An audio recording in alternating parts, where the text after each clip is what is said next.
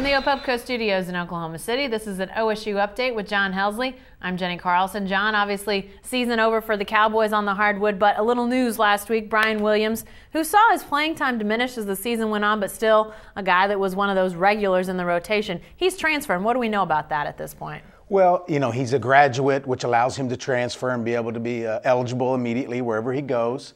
Um, it, like you said, a guy whose playing time diminished late in the season.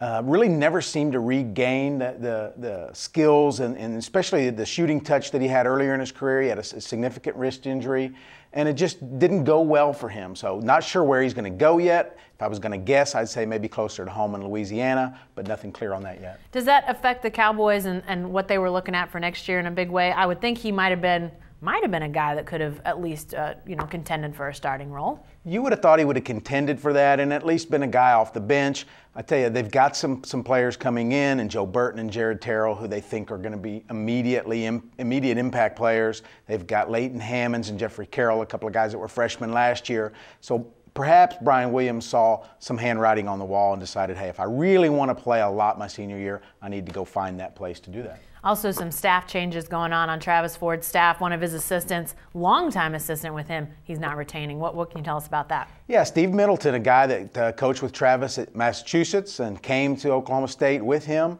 uh, is not going to be with the team next year. And there had been some talk that, that maybe Travis would be urged to shuffle his staff a little bit, and that's what this appears to be when you think, you know, a guy that's a, a longtime friend as well. And so we're going to see a little bit of a different uh, face on the on the Cowboys bench next year, and you know maybe a, a, little different, you know, instruction as well. When you talk about Middleton and his role, where, what are they going to be going out to try to find? A guy that big time recruiter, big time coach. I mean, X's and O's guy. What are they going to be looking to replace in, in, re, in replacing Middleton? Yeah, Steve Middleton's primary job, you know, along with everybody recruits somewhat, but he was the the big man coach. He worked with big men, so uh, they have. Uh, guys that can recruit on this staff already. I think strong recruiters. I don't know that they have to go out and get an ace in that regard, but maybe somebody that can come in and work with the big men. And it's been a sore spot. They haven't been able to one attract a lot of great big men and develop them. All right, thanks, John. Sure, stay with the best coverage team anywhere at newsok.com and every day in the Oklahoman.